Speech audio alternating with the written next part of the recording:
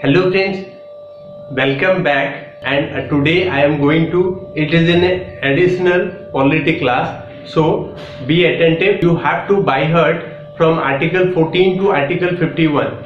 Today I will discuss the fundamental rights mentioned in part 3 of Indian constitution. Do watch it, watch this particular video again and again. Shall let's start today's discussion. Article number 12 it is definition. Article 12 it is it is a, uh, the fundamental rights are mentioned in part 3 of indian constitution. Do remember this.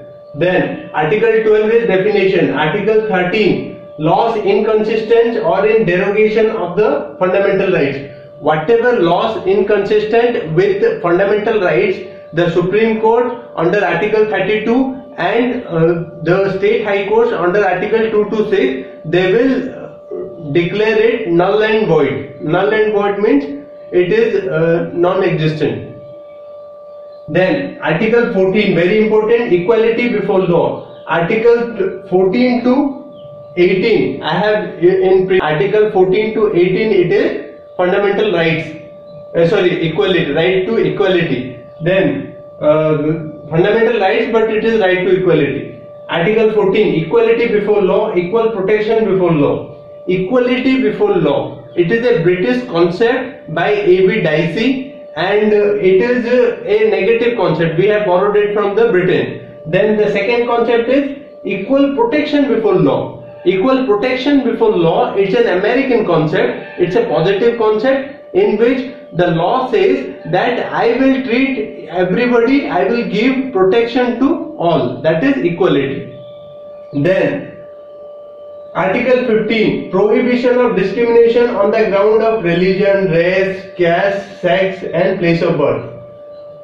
There is a prohibition of discrimination. There cannot be any kind of a discrimination. I had told in many of my videos that being a bureaucrat, you not have to practice casteism, any kind of a religious feeling. You have to take it out from your mind. And if you want to be a successful bureaucrat, make it a point that you do not follow this kind of a, a medieval kind of a thinking attitude. You have to stay away from this kind of attitude. You're supposed to be mingling with everybody, solving problems of other religion, people of other religion, people of the caste in which you don't belong to and you have to treat everybody equally. There are very strict rules and regulations, uh, civil rights, then uh, prohibition of uh, uh, prohibition of uh, discrimination act. There are certain acts in which I will discuss in one of the polity class uh, after prelim completion of prelim, in which it will be helpful for your main preparation. Then religion, race, caste, sex, place of birth all these things you have to avoid then article 16 equality of opportunity equality of opportunity is very important and when eh, they will ask you a certain question how in uh, which article reservation is been placed you can say that equality of opportunity is the article in which there is amendment in which reservation is put under uh, subsections of equality of opportunity so reservation, all the reservation related thing, it is equality of opportunity, article number 16. Article number 17, abolition of untouchability. Abolition of untouchability is very very important, article 17. Article 18, abolition of titles. Ab- abolition of titles is very very important. Then, right to freedom. Article 19, protection of certain rights regarding freedom of speech, that is RTI, right to information. Right to information is very very important. It is put under Article 19. If you want to remember the Article number 19, then I have discovered a particular trick that is EAAMRP. E stands for freedom of speech and expression. A to assemble peaceful without arms. A to form associations or unions that is cooperative societies.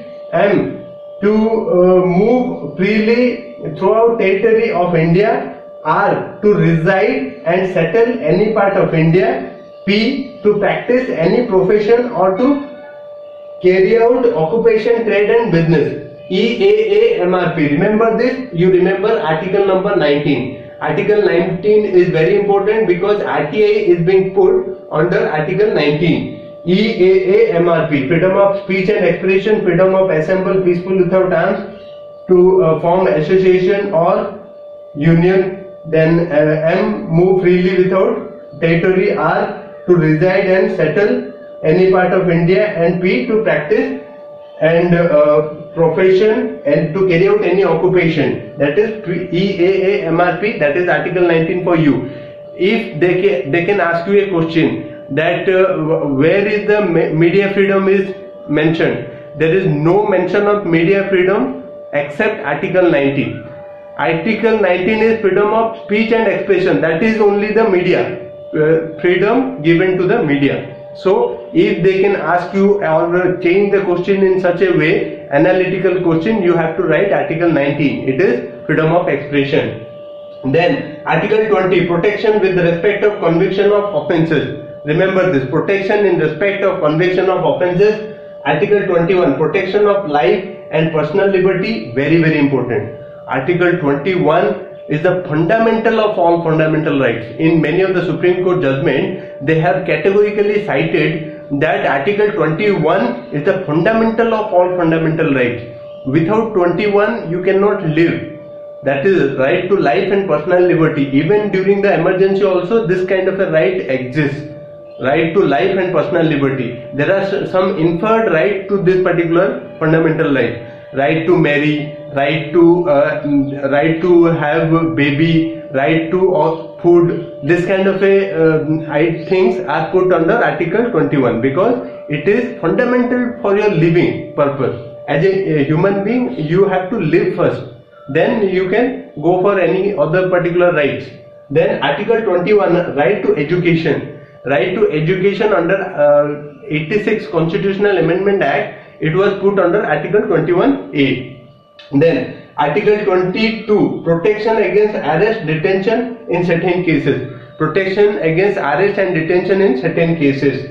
Right against exploitation. Article 23 prohibition of traffic in human beings and forced labor. So article 24 prohibition of children in factories.